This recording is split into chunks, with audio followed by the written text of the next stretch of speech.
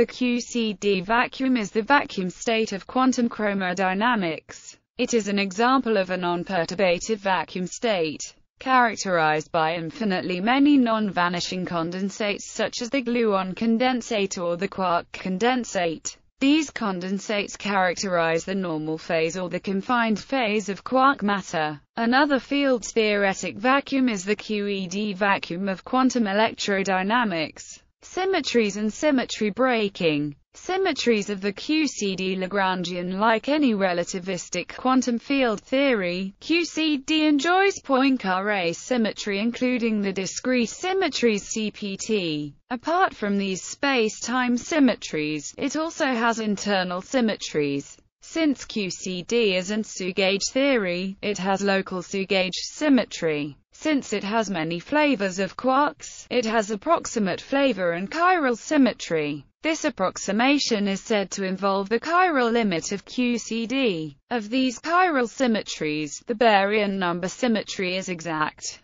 Some of the broken symmetries include the axial U symmetry of the flavor group. This is broken by the chiral anomaly. The presence of instantons implied by this anomaly also breaks CP symmetry. In summary, the QCD Lagrangian has the following symmetries. Poincare symmetry and CPT invariance. SU local gauge symmetry. Approximate global SUX SU flavor chiral symmetry and the U baryon number symmetry. The following classical symmetries are broken in the QCD Lagrangian scale, i.e., conformal symmetry, giving rise to asymptotic freedom. The axial part of the U-flavor chiral symmetry, giving rise to the strong CP problem. Spontaneous symmetry, breaking when the Hamiltonian of a system has a certain symmetry, but the ground state does not. Then one says that spontaneous symmetry breaking has taken place. A familiar example of SSB is in ferromagnetic materials.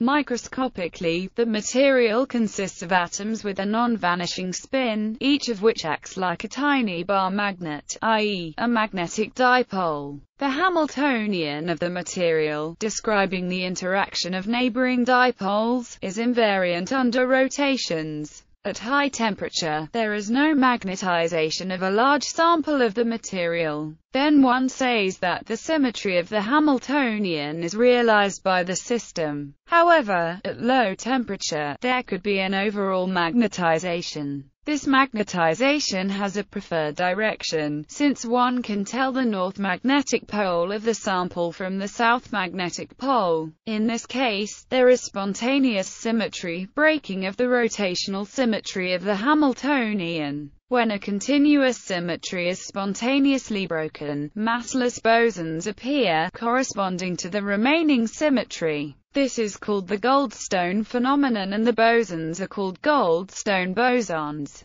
Symmetries of the QCD vacuum The SU times SU chiral flavor symmetry of the QCD Lagrangian is broken in the vacuum state of the theory. The symmetry of the vacuum state is the diagonal SU part of the chiral group. The diagnostic for this is the formation of a non-vanishing chiral condensate, where psi is the quark field operator, and the flavor index psi is summed. The Goldstone bosons of the symmetry breaking are the pseudo-scalar mesons. When NF equals 2, i.e., only the U and D quarks are treated as massless, the three pions are the Goldstone bosons. When the S quark is also treated as massless, i.e., NF equals 3, all eight pseudo-scalar mesons of the quark model become Goldstone bosons. The actual masses of these mesons are obtained in chiral perturbation theory through an expansion in the actual masses of the quarks. In other phases of quark matter, the full chiral flavor symmetry may be recovered, or broken in completely different ways. Evidence Experimental consequences. The evidence for QCD condensates comes from two eras, the pre-QCD era 1950 to 1973 and the post-QCD era, after 1974. The pre-QCD results establish that the strong interactions vacuum contains a quark chiral condensate while the post-QCD results establish that the vacuum also contains a gluon condensate pre-QCD. Gradient coupling In the 1950s, there were many attempts to produce a field theory to describe the interactions of pions and nucleons. The obvious renormalizable interaction between the two objects is the Yukawa coupling to a pseudoscalar, and this is clearly theoretically correct, since it is leading order and it takes all the symmetries into account. But it doesn't match experiment. The interaction that does couples the nucleons to the gradient of the pion field. This is the gradient coupling model. This interaction has a very different dependence on the energy of the pion. It vanishes at zero momentum. This type of coupling means that a coherent state of low momentum pions barely interacts at all. This is a manifestation of an approximate symmetry, a shift symmetry of the pion field. The replacement leaves the gradient coupling alone, but not the pseudoscalar coupling. The modern explanation for the shift symmetry was first proposed by Yoichiro Nambu. The pion field is a Goldstone boson, and the shift symmetry is the lowest order approximation to moving along the flat directions. Pre-QCD Goldberger-Treiman relation There is a mysterious relationship between the strong interaction coupling of the pions to the nucleons, the coefficient G in the gradient coupling model, and the axial vector current coefficient of the nucleon which determines the weak decay rate of the neutron. The relation is and it is obeyed to 10% accuracy. The constant is the coefficient that determines the neutron decay rate. It gives the normalization of the weak interaction matrix elements for the nucleon. On the other hand, the pion-nucleon coupling is a phenomenological constant describing the scattering of bound states of quarks and gluons. The weak interactions are current-current interactions ultimately because they come from a non-abelian gauge theory. The Goldberger-Treiman relation suggests that the pions for some reason interact as if they are related to the same symmetry current. PCAC The phenomenon which gives rise to the Goldberger-Treiman relation was called the partially conserved axial current hypothesis, or PCAC. Partially conserved is an archaic term for spontaneously broken, and the axial current is now called the chiral symmetry current. The idea is that the symmetry current which performs axial rotations on the fundamental fields does not preserve the vacuum. This means that the current J applied to the vacuum produces particles. The particles must be scalars, otherwise the vacuum wouldn't be Lorentz invariant. By index matching, the matrix element is, whereas the momentum carried by the created pion since the divergence of the axial current operator is zero, we must have hence the pions are massless, in accordance with Goldstone's theorem. Now if the scattering matrix element is considered, we have up to a momentum factor, which is the gradient in the coupling. It takes the same form as the axial current turning a neutron into a proton in the current-current form of the weak interaction. Pre-QCD Soft pion emission extensions of the PCAC ideas allowed Steven Weinberg to calculate the amplitudes for collisions which emit low-energy pions from the amplitude for the same process with no pions. The amplitudes are those given by acting with symmetry currents on the external particles of the collision. These successes establish the basic properties of the strong interaction vacuum well before QCD. Pseudo-Goldstone bosons Experimentally it is seen that the matters of the octet of pseudo-scalar mesons is very much lighter than the next lightest states, i.e., the octet of vector mesons. The most convincing evidence for SSB of the chiral flavor symmetry of QCD is the appearance of these pseudo-Goldstone bosons. These would have been strictly massless in the chiral limit. There is convincing demonstration that the observed masses are compatible with chiral perturbation theory. The internal consistency of this argument is further checked by lattice QCD computations which allow one to vary the quark mass and check that the variation of the pseudo-scalar masses with the quark masses is required by chiral perturbation theory. The eta, this pattern of SSB solves one of the earlier mysteries of the quark model, where all the pseudo-scalar mesons should have been of nearly the same mass. Since NF equals 3, there should have been 9 of these. However, one singlet eta has quite a larger mass than the SU octet. In the quark model, this has no natural explanation, a mystery named the eta-eta mass splitting. In QCD, one realizes that the eta is associated with the axial U which is explicitly broken through the chiral anomaly, and thus its mass is not protected to be small, like that of the eta. Current algebra and QCD sum rules PCAC and current algebra also provide evidence for this pattern of SSB. Direct estimates of the chiral condensate also come from such analysis. Another method of analysis of correlation functions in QCD is through an operator products expansion. This writes the vacuum expectation value of a non-local operator as a sum over VEVs of local operators, i.e., condensate.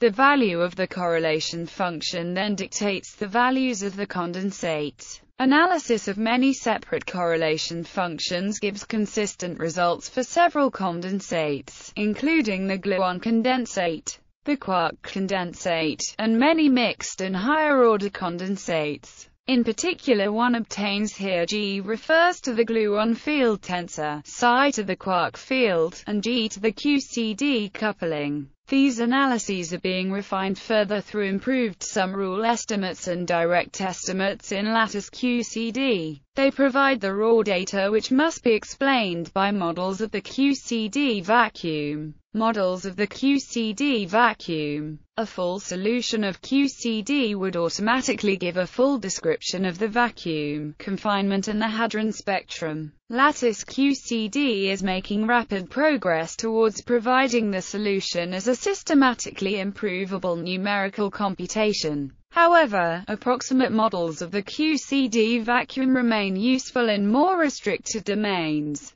The purpose of these models is to make quantitative sense of some set of condensates and hadron properties such as masses and form factors. This section is devoted to models. Opposed to these are systematically improvable computational procedures such as large NQCD and lattice QCD, which are described in their own articles. The Savvidy vacuum. Instabilities and structure The Savvidy vacuum is a model of the QCD vacuum which at a basic level is a statement that it cannot be the conventional Fock vacuum empty of particles and fields. In 1977, George Savvidy showed that the QCD vacuum with zero field strength is unstable, and decays into a state with a calculable non-vanishing value of the field. Since condensates are scalar, it seems like a good first approximation that the vacuum contains some non-zero but homogeneous field which gives rise to these condensates.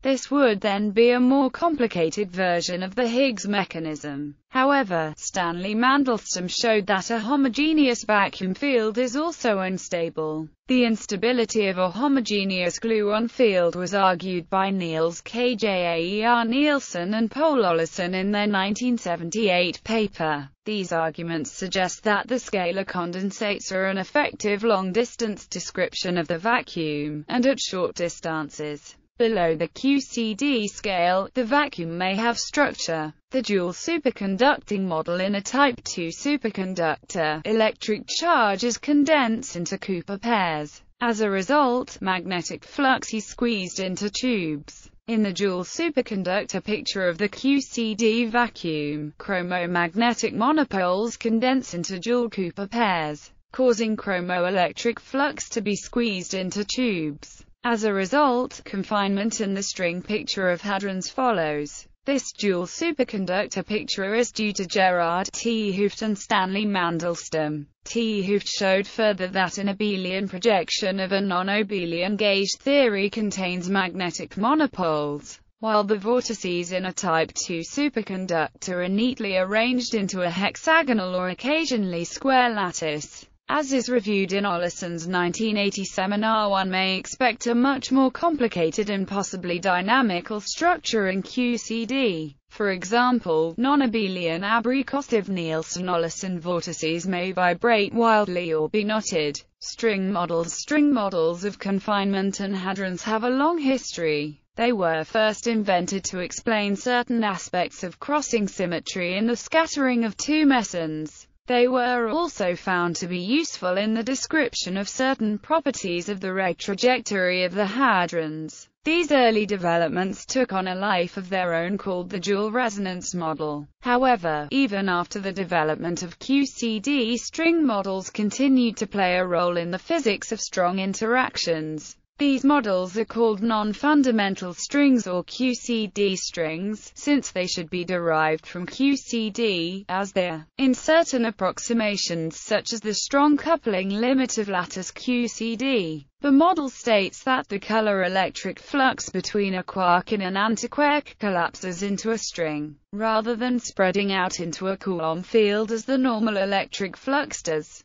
This string also obeys a different force law. It behaves as if the string had constant tension, so that separating out the ends would give a potential energy increasing linearly with the separation. When the energy is higher than that of a meson, the string breaks and the two new ends become a quark-antiquark pair, thus describing the creation of a meson. Thus confinement is incorporated naturally into the model, in the form of the Lund model Monte Carlo program. This picture has had remarkable success in explaining experimental data collected in electron-electron and hadron-hadron collisions. Bag models strictly, these models are not models of the QCD vacuum, but of physical single-particle quantum states, the hadrons. The model proposed originally in 1974 by A. Chodos al. consists of inserting a quark model in a perturbative vacuum inside a volume of space called a bag. Outside this bag is the real QCD vacuum, whose effect is taken into account through the difference between energy density of the true QCD vacuum and the perturbative vacuum boundary conditions imposed on the quark wave functions and the gluon field. The hadron spectrum is obtained by solving the Dirac equation for quarks and the Yang-Mills equations for gluons. The wave functions of the quarks satisfy the boundary conditions of a fermion in an infinitely deep potential well of scalar type with respect to the Lorentz group. The boundary conditions for the gluon field are those of the dual-color superconductor. The role of such a superconductor is attributed to the physical vacuum of QCD. Bag models strictly prohibit the existence of open color and lead in particular to string models of hadrons. The chiral bag model couples the axial vector current of the quarks at the bag boundary to a pionic field outside of the bag. In the most common formulation, the chiral bag model basically replaces the interior of the Skyrmion with the bag of quarks. Very curiously, most physical properties of the nucleon become mostly insensitive to the bag radius. Prototypically, the baryon number of the chiral bag remains an integer, independent of bag radius. The exterior baryon number is identified with the topological winding number density of the Skyrme soliton, while the interior baryon number consists of the valence quarks plus the spectral asymmetry of the quark eigenstates in the bag. The spectral asymmetry is just the vacuum expectation value summed over all of the quark eigenstates in the bag. Other values, such as the total mass and the axial coupling constant, are not precisely invariant like the baryon number, but are mostly insensitive to the bag radius, as long as the bag radius is kept below the nucleon diameter. Because the quarks are treated as free quarks inside the bag, the radius independence in a sense validates the idea of asymptotic freedom. Instanton ensemble Another view states that BPST-like instantons play an important role in the vacuum structure of QCD. These instantons were discovered in 1975 by Belavin, Polyakov,